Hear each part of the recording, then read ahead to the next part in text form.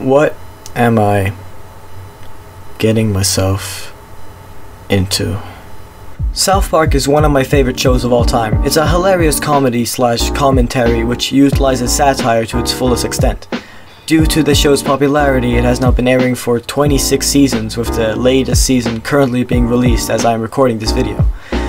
Because of how long the show has been going on, this also means that there are a lot of characters that have been created to fill out the town of South Park. And I'm going to be ranking all of them.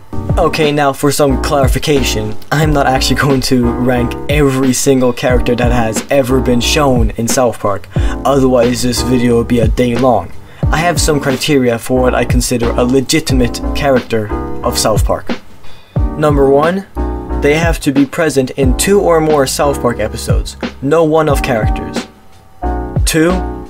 They need for at least one of those episodes to have some major focus on them in some way. 3. No celebrity characters, except in some very specific circumstances where the South Park character doesn't directly mirror the real life celebrity. And with that out of the way, let's get into this.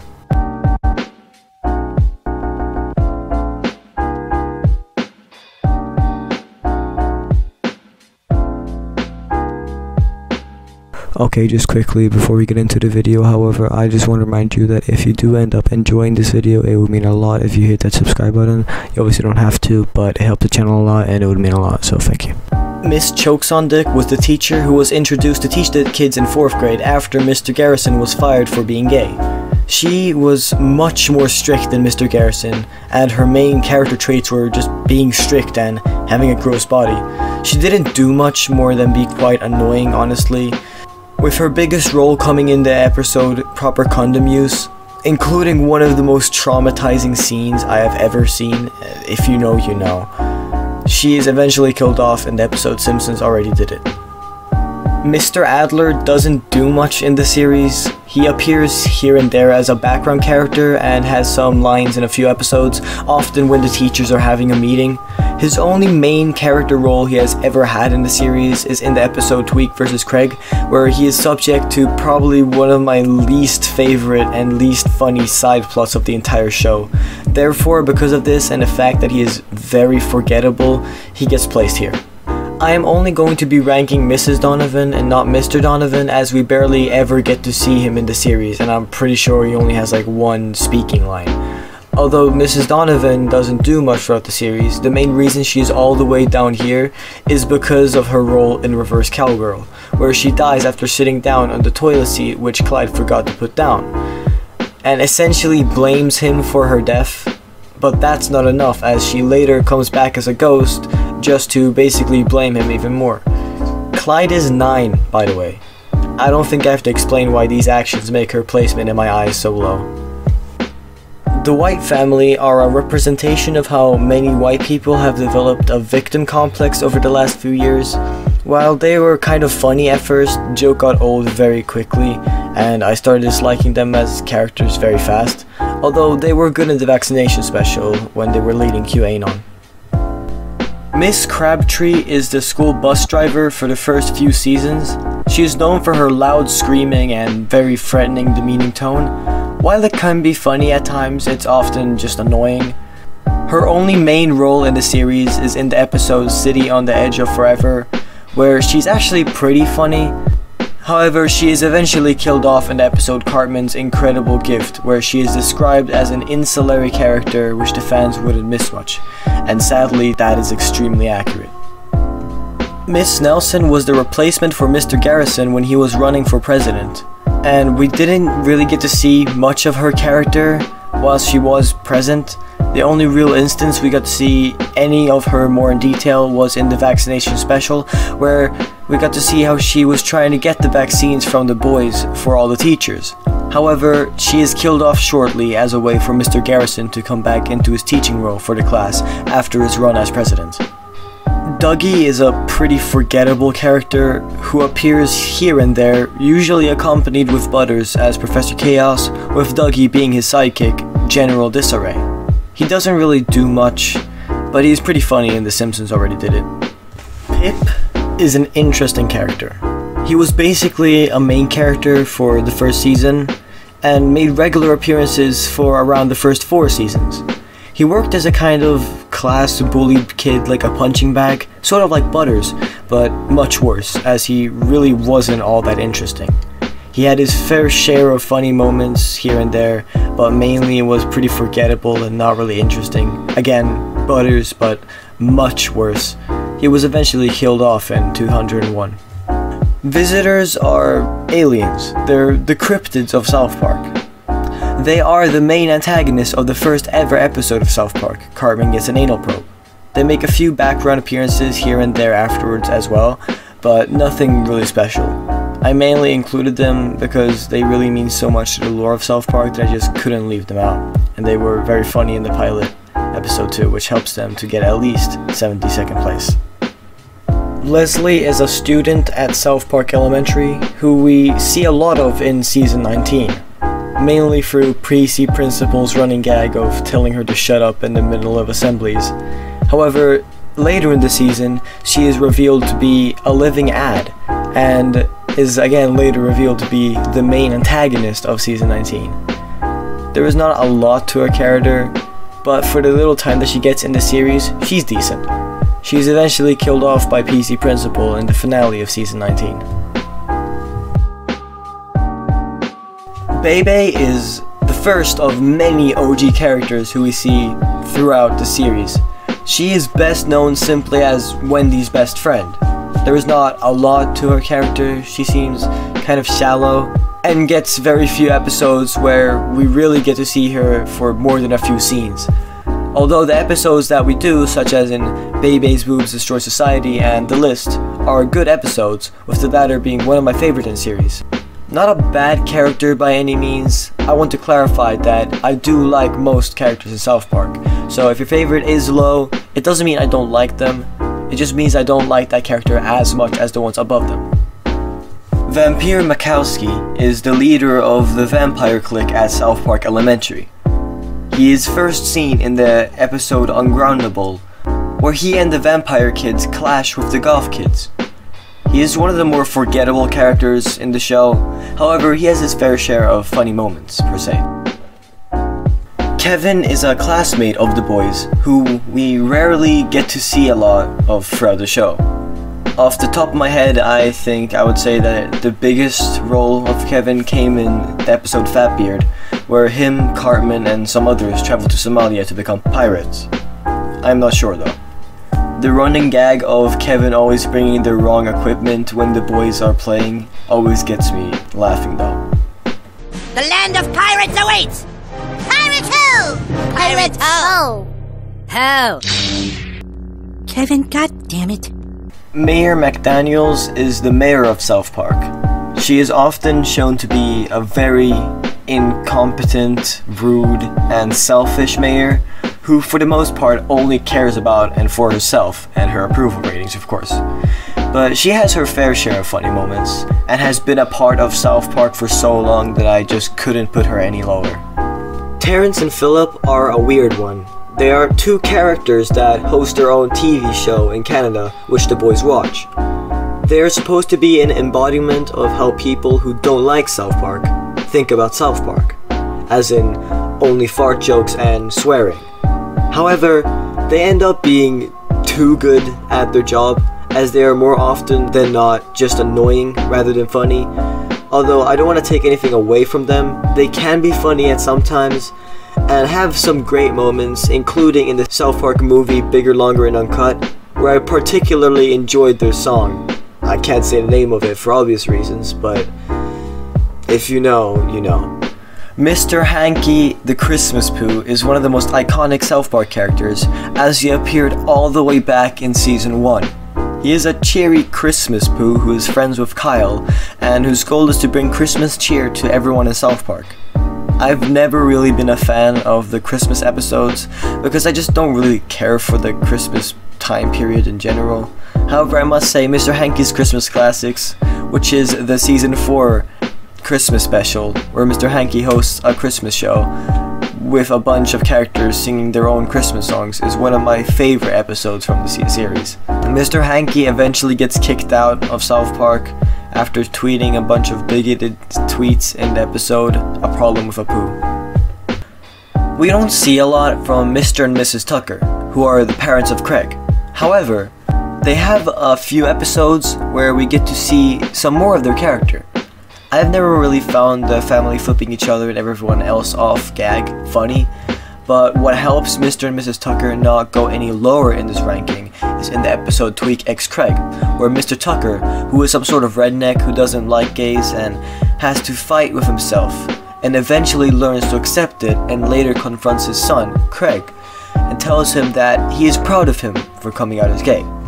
This shows that, at the very least, Mr. Tucker is a more deeply emotional character than most people below him and is also shown to be one of the better parents in the show.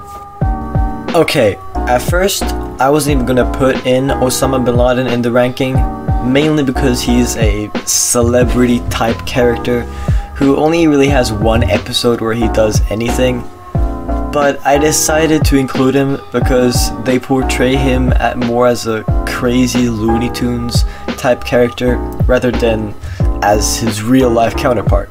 Also, he does appear in It's a Jersey Thing, so technically he would qualify for my list. Osama is a very funny character. He never fails to make me laugh when he's on screen. His insane depiction is priceless, and his entire Looney Tunes fiasco with Cartman and Osama bin Laden has farty pants is amazing. However, because of the fact that he only appears twice, and even then it's debatable how much the second appearance counts, and the fact that he doesn't really have any voice lines, only really saying a lot of Arabic sounding nonsense, he gets placed here. Skeeter is the owner of the town bar, which later gets rebranded to a wine bar after the gentrification of the town. Skeeter is your typical redneck, but has some very funny moments. My personal favorite is the running gag of we don't take kindly to your types here joke in the episode Sexual Harassment Panda. I want to know something from Mr. Panda Bear here.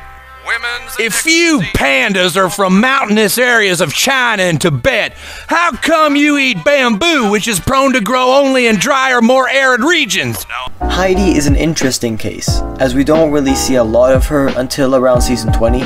What we see from her before this is that she's kind of like Wendy, as in that she's selfless, cares about others and the environment, and is smart but her relationship with Cartman throughout seasons 20 and 21, we see that she is extremely easily manipulated and she turns into a human who is arguably even worse than Cartman is. She's eventually to break through Cartman's manipulation and breaks up with him at the end of season 21 and has seemingly returned back to normal since then, although we have barely ever got to see any of her since then, so who really knows. Nicole is introduced in the episode Cartman Finds Love, where she, as the only other black kid in the school, gets set up with Token by Cartman because he is racist. Except for being Token's longtime girlfriend in the series until she breaks up with him following all the girls breaking up with their boyfriends in season 20, her only other really big role in the series comes in the episode Board Girls, where she leads the march to prove that girls are just as good as playing board games as the boys. Vice Principal Strongwoman is the vice principal of South Park Elementary, after she gets appointed by PC Principal in an attempt to be more inclusive. She's arguably even more PC than PC Principal, and several times in her first episode calls him out for not being PC enough, which is hilarious to watch PC Principal be put in that situation. She's also the mother of the PC babies, which alone definitely ranks her up a bunch of places. Red is probably one of the most popular background characters throughout the series.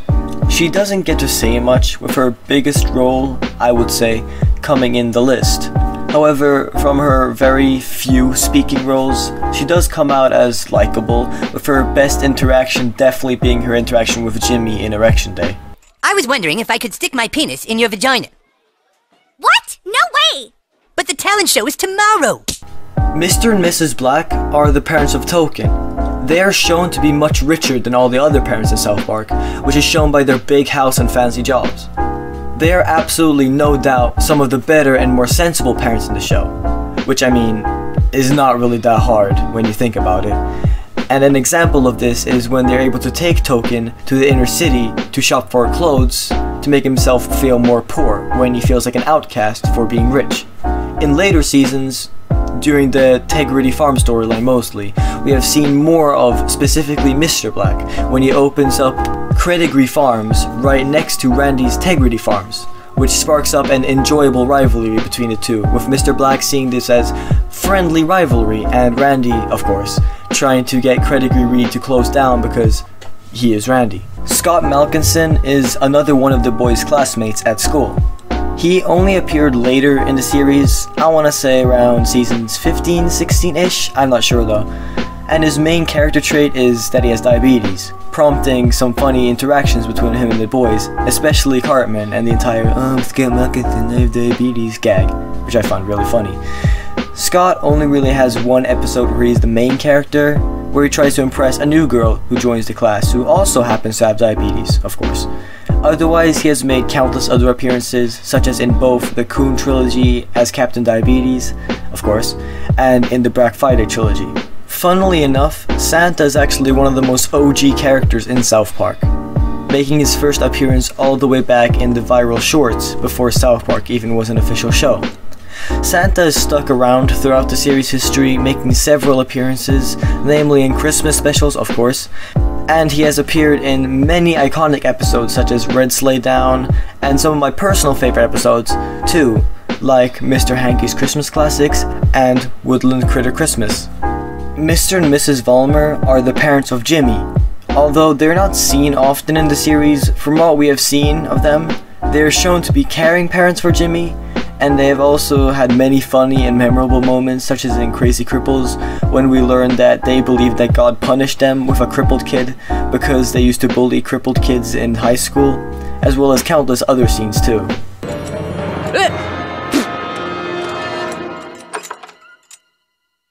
Jimmy, were you masturbating? Saddam Hussein is by far one of the most evil characters in South Park. He is a character who first appeared in the movie. He was the boyfriend of Satan and was extremely manipulative and abusive of Satan. He then later tries to take over the world but is ultimately killed by Satan. However, Saddam later returns in the episode Do the Handicapped Go to Hell, where he is back in hell. I mean, where is he supposed to go? Detroit? Only to find out that Satan was dating someone else now. This makes Saddam kill the new guy, showing that even though he cared very little for Satan, he always cared about power. Side note, I love how he looks and sounds just like a Canadian in South Park, and it is just never brought up or explained. Comedy gold right there.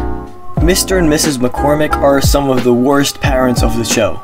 They are very poor and have been shown to care very little about their children. It is even revealed in the Coon and Friends trilogy that the reason for Kenny's immortality is because his parents joined the cult of Cthulhu because they served free alcohol. However, at the same time, they are also some of the funnier parents in the show, as well as being some of the more well-grounded ones. They take part in several good plots throughout the series, such as the aforementioned Coon trilogy, The Poor Kid, and others. Scott Tenorman is an interesting case as he's only appeared in two episodes, being Scott Tenorman Must Die and 201. He's pretty funny in Scott Tenorman Must Die, always coming up with ingenious plans to get Cartman, which ends up with, well, if you know, you know. But the main reason I am putting him up this high is because of how much his actions affected the course of the series, and how he single-handedly evolved Cartman from a spoiled brat to the manipulative, evil, psychopathic maniac he is today. Mr. and Mrs. Tweek are the parents of, well, Tweek. They are just like the McCormicks, also some of the worst parents in the show. They are shown to have given meth laced coffee to Tweek every time he's in distress, which has definitely been a reason for his hyperactiveness and fright. The Tweaks are awful at parenting, and it can definitely be very funny a lot of the time. One instance of this is in the episode Child Abduction is Not Funny, when they first tell Tweek to not trust anyone but them, before then traumatizing him by making him think an intruder broke into his room and then telling him to go to sleep afterwards. Okay, look, I know, I know. Tweek is definitely a fan favorite character. I have seen many people rank him inside their top 10, and I completely understand why. He is a very likable character to many, who faces a lot of trauma, namely by his parents, throughout the series. But for me personally, I've just never really found him that great. I mean, don't get me wrong, he was great in the Underpants Gnomes episode, and he did work well as a replacement for Kenny in season 6. Although I do think that there were better options to replace Kenny, namely Token, Timmy, and Dog Poo. And his relationship with Craig is wholesome, yes. But besides that, he's just fine. There's nothing really special with him. Daryl Weathers is the de facto leader of the Rednecks, basically. He has many great moments throughout the series, but is namely your standard you love to hate him redneck, often playing an anti-hero role in most episodes he's in. Daryl is definitely most famous for his standout episode Goobacks, however, where he has one of the most iconic lines in all of South Park. And offering to do the same work for next to nothing. They took our jobs. yeah, they did. Took our jobs. Father Maxi is the priest in the town of South Park. He is a hilarious hyperbole of Christian morals which are shown in the Catholic Church by using fear mongering. This is seen no better than in the episode Do the Handicapped Go to Hell, where Father Maxi makes all the kids think that without being perfect Christians and repenting, they will all go to hell.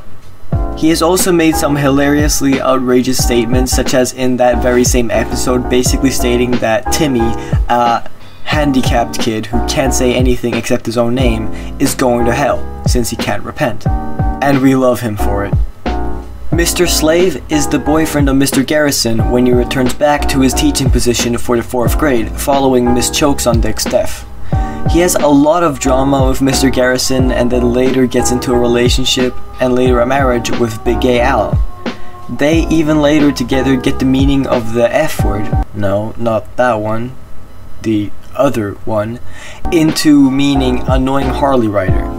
Mr. Slave seems to care a lot about the kids, and his many fantasies don't get in the way of proper morals as we see in the episode Stupid Spoiled Whore Video Playset, which concludes with one of the most disturbing scenes in all of South Park. If you know, you know. I know I keep saying that, but trust me, if I showed any of those scenes, I would be off this platform quicker than Paris Hilton was shoved into Mr. Slave's Principal Victoria is the principal of South Park Elementary for the first 18 seasons of the show, before she is replaced by PC Principal. While not a bad character by any means, she is probably one of the more forgettable original characters of the series, as she doesn't really do much. This is why I have seen many people put her low on their rankings, however, I disagree with that mainly because she's a very important character and has many memorable moments. Who can forget back in season 1 when she takes Cartman, who is wearing his Hitler costume, into her office only to change him into a spooky ghost costume which ends up being a Klan member. Or her coded speech in Breast Cancer Show Ever, which leads to Wendy fighting Cartman in one of the most iconic scenes in all of South Park. Karen McCormick is the sister of Kenny, she is rarely seen in the show, and I am pretty sure she didn't even exist until a certain point. However, from her most prominent appearance in the episode The Poor Kid, she is shown to care a lot for Kenny and is very innocent and sweet. Al Gore is the last of the celebrity characters on this list. Well, unless you include Satan and Jesus as celebrities, which I don't. And he's definitely the best one. He appears first in the episode Man Bear Pig, where he talks about, well, Man Bear Pig and its dangers. Man Bear Pig is an analogy for climate change, which was something which Al Gore, even back in 2000, was trying to warn people about. However, because of the lack of evidence, many people didn't take him seriously, including Matt and Trey, which led to the Man Bear Pig episode. However, in more recent times we have seen the return of Al Gore and also Man Bear Pig as an apology to Al Gore after climate change was basically proven to exist. In the episodes Time to Get Cereal and Nobody Got Cereal. I've always enjoyed Al Gore in South Park and he has always been this flamboyant, goofy character that is always enjoyable to watch. Too bad we didn't take him cereal. The member berries are some of the weirdest characters in South Park. They appear throughout season 20 and acted as a type of nostalgia berry that made people remember the good old days and led to Mr. Garrison being elected president. Although season 20 was not my favorite and it was definitely a very messy season, I've always enjoyed the member berries antics throughout the season and it was definitely one of the highlights. Man, I miss Dr. Mephisto. Dr. Mephisto was the town's own crazy mad scientist who had a fascination for creating animals with several asses for some reason. He was very prevalent throughout the first two seasons and slowly appeared less and less since then. I don't even think we have seen Dr. Mephisto since 201, which was a whole 12 seasons ago at this point. He was always funny and had his this sidekick Kevin who never talks and doesn't even look human, and he's just never explained, and I find that absolutely hilarious. Dr. Mephisto played a big part in finding out who Cartman's father is in the end and starts of seasons 1 and 2. Definitely an OG character, and one I think many fans, including myself, want back. Okay, now that we are halfway through the ranking, I have, after a lot of consideration, decided to split up this ranking into two different videos. This is for two reasons. Firstly, I just feel like the video would be much too long otherwise, and also the editing program I use is very bad and it gets really laggy when the videos get too long. But don't you worry since I will be uploading both parts around the same time. So if you're watching this video right now, it means that the second part is most likely available right now on my channel. If not, then I don't know, either you must be extremely early so the second part hasn't uploaded yet, or I'm just stupid. But yeah, with that said, if you're interested in the ranking and want to see the rest of the list, the second part should be public, so go check that out. And uh, I'll see you in a bit.